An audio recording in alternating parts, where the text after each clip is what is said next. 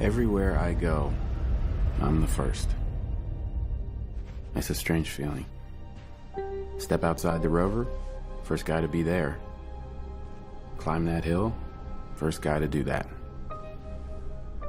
Four and a half billion years, nobody here. And now, me. I'm the first person to be alone on an entire planet.